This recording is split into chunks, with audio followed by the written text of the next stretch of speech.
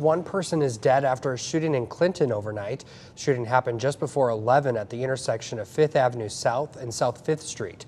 Police say when they arrived, they found 43-year-old Antony Sampson lying in the roadway, and he was then transported to Mercy One Hospital where he later died.